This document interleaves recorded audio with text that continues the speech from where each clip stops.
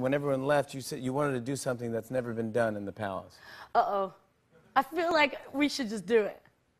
Can we just do it? Yeah. We just do it here? Should we just stand up? Yeah. Okay, fine. Yeah. You, you- Ready? yeah. One, two, three.